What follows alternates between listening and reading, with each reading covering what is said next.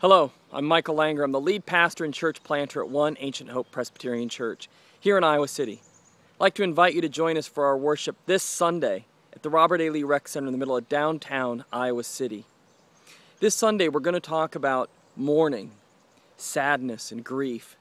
Three things that are part of our existence, three things that we probably wish were not, and three things that most of us have experienced, some more intensely than we would like.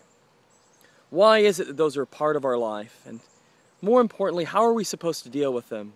As Christians, I think some of us are under the false impression that Christians just aren't supposed to be sad or mourn or grieve. But what we see in the gospel is that when his friend died, Jesus wept. Jesus is referred to in the Old Testament as a man of grief, acquainted with sorrow.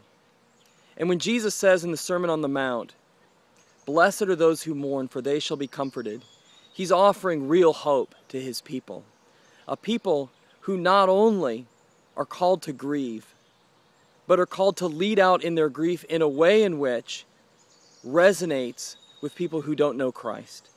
And so this Sunday at One Ancient Hope, we're going to talk about what it means to really and truly grieve and how that grief ultimately finds comfort because of what Christ has done for us.